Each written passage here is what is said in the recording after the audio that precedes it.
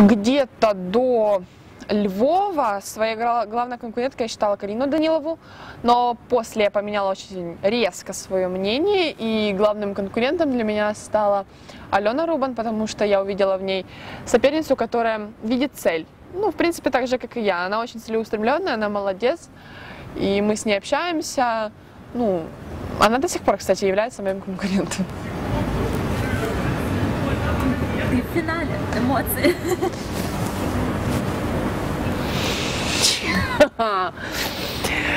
И я чувствую гордость за то, что я при своем возрасте, допустим, да, даже при своем маленьком опыте дошла вот аж до финала, переступила, так сказать, через некоторые выходки девочек.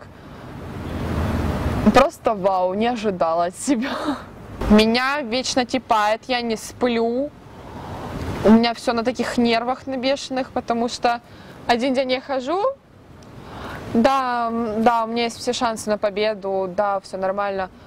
Второй день, блин, ну ладно, что, не получу приз, нормально. Главное не плакать, главное не плакать, не... Но опять, все по той же самой программе. У меня все очень резко меняется, мое настроение. Я до сих пор не определена. Вот, и у меня постоянно «О, мандраж. В общем, я очень волнуюсь.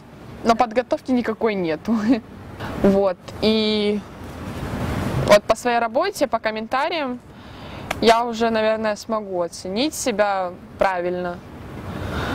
Вот, но так я очень надеюсь, очень стараюсь, каждый выгон, ну вот, каждое наше испытание я проходила как в последний раз, и я стремилась к тому, чтобы я не слышала каких-то, какой-то критики в свою сторону.